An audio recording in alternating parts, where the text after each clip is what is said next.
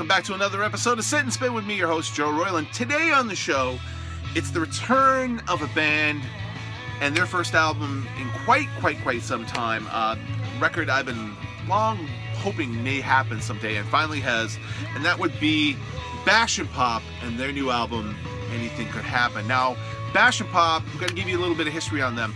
Bash Pop is the brainchild of Tommy Stinson, who first came to fame as the bassist for the Minneapolis rock band The Replacements. Uh, he uh, started the group with his late brother guitarist Bob Stinson, drummer Chris Mars, and singer-songwriter guitarist Paul Westerberg way back in 1979 when he was all at the tender age of 13 years old. Uh, of course, if you don't know about the replacements, go out and find out about them. We're not going to go through their whole history right now because it would take way too long.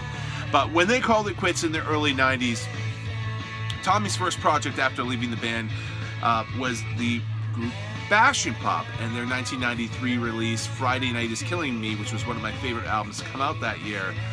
And while technically it was a band, it was kind of more like a band in name and touring purposes only.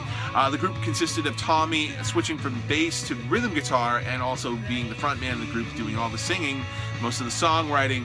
Uh, had Steve Foley on drums who had come with Tommy from the last days of the replacements. He'd played in them during their final days. Uh, Steve Foley's brother Kevin on bass and Steve Brantseg on guitar. And all those guys played on the album, but there was also a lot of outside guest help musicians from people like Ben Benmont Tench, Mike Campbell from Tom Petty and the Heartbreakers, and Jeff Trott from Wire Train, and Greg Leisz from American Music Club, and a host of other people. And overall, for most intents and purposes, it was still kind of a band. And the album was not so far removed from the raucous rock and roll of the replacements, granted with a bit more of a country style twang to the guitars.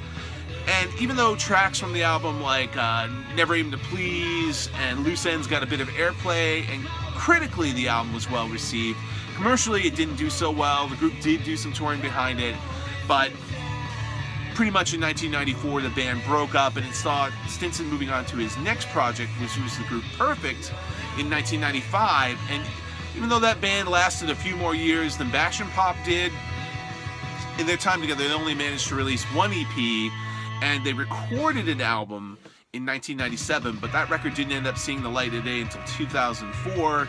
There were some issues with the uh, company that was going to be putting it out, um, legal problems and stuff, and that's why it kind of got lost in the shuffle and not released to a later period of time. Now, after all this, Tommy just decided, okay, I'm just going to go solo and concentrated working on solo stuff, but the appeal of being in a band uh, also drew him to be in joining Guns N' Roses in 1998 as their bassist, and he played with them from 1998 to 2012.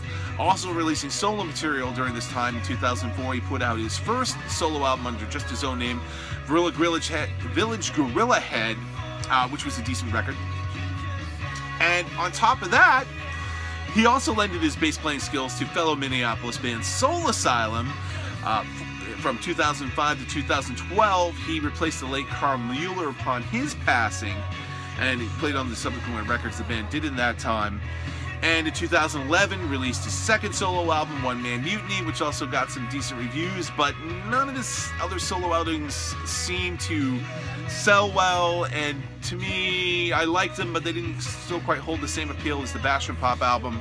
His next step would find him be uh, getting back together with former bandmate Paul, Westerberg, geez, tongue-tied tonight, and replacing, um, tongue-tied again, and reuniting the replacements in 2013.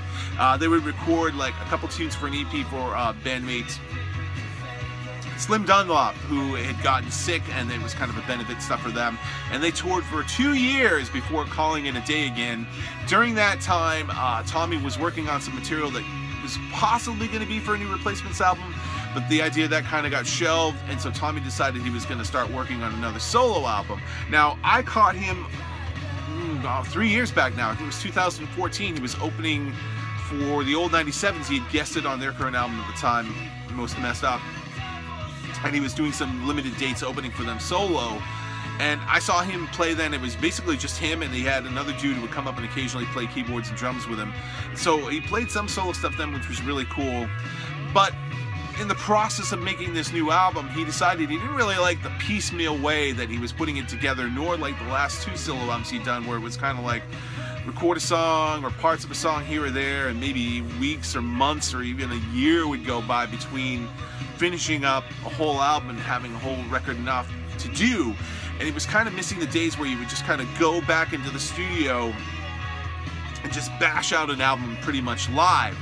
So he revived the old Bash and Pop moniker, and with some new players, he got Steve Selvidge from the Hold Steady on lead guitar, Joe Sirois on drums from Mighty Mighty Bosstones, and Justin Perkins on bass from Screeching Weasel, and uh, put out a new record under the Bash and Pop name, under the title Anything Could Happen. Kind of a pun on the thing. Hey, do you know uh, if Bash and Pop will ever release another record? Well, anything could happen. So, nice pun there. But much like the uh, first and Pop album, it's still a lot of Tommy who's doing, again, all the singing, the songwriting, the guitar playing, a lot of the bass work, and the other guys are pretty much there um, to fill out a band and lend help there and do some touring dates and stuff, but it's kind of, again, more or less a band and name only, but even then, as for the album itself, pretty much picks up right where the debut album left off which is quite something considering the 24 years of time difference between the two. And the album opens on the scorching uh, Not This Time, which you just heard, and continues through a lot of great highlights such as uh, On the Rocks, uh, the album's title track that could hold its own amongst the best of the replacements work. Uh, there's uh, the twang swang, uh, breathing room, which is really nice. Anybody else is an acoustic ballad. Um, rather, excuse me, anybody else, and then the acoustic tinge ballad, uh, Can't Be Bothered, which closes out side one, and that's just side one. Side two opens on the sweet bad news that musically recalls old school, early solo Rod Stewart with some really nice slide guitar work. Um, Another great track on the album is uh, Countrified Ballad, Barroom Ballad, Anytime Soon and uh, the old school flip off replacement style of song Unfuck You. Uh, Jesus Love You is a song that wouldn't sound out of place on a Georgia Satellites albums, and that is a compliment. Um, I love the Satellites. Dan Baird. And the record closes out on the acoustic uh, shortcut. It's a great lament that holds up with the best of anything Paul Westerberg ever did in his solo career as well. So overall, a fine continuation of the legacy of Bash and Pop and even just Tommy Stinson's solo stuff in general. Uh, if the debut album was the best thing that Stinson's ever done, this is the second best right here, but really on par with the first Bash and Pop album. And speaking of the first Bash and Pop album, that is finally seeing its long overdue debut on vinyl for the first time ever. It is part of Rhino Records 2017 campaign for Start Your Ear Off Right. It was something they did last year where basically uh, finds Rhino Records issuing and reissuing a bunch of records, sometimes for their vinyl debut, things like the and Pop album. Uh, Cheap Trick's woke up with a monster, another favorite, seeing its first time on vinyl ever. As well as uh, some reissues. Sometimes it's things that have uh, been released before, just out of print. Um, the uh, entire replacement Sire Records catalog, which has been out of print for a while. They reissued them all in a box set a year or so ago, but they reissued them all separately now. Records like Don't Tell a Soul, which is one of my favorite replacements albums, and the only one I, for whatever reason, I'd never gotten until now, so I'm glad to finally have a chance to get that again. Uh, also, there's some really cool um, colored vinyl releases. I don't have it handy on me, but the Dead Boys Young, Loud, and Snotty is reissued on Snot Green vinyl. Pretty cool as well as some other cool stuff. I'll put a link into the Rhino Records site so you can check out what other releases are out. I was going to do a separate show on that, but I've got so much things I'm getting kind of behind on. I just decided to include it as part of this, especially since uh, the and Pop album played into this too. It also, you get a free Rhino Records 2017 calendar.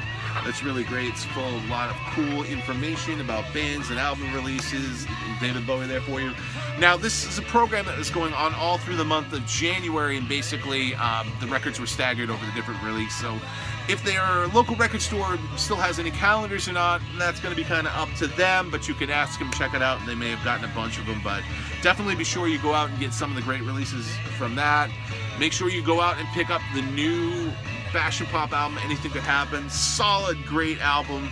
2017 just off to an excellent start. And while you're at it, pick up the band's debut, Friday Night is Killing Me, recently re- reissued on vinyl too. This is, of course, out on CD as well.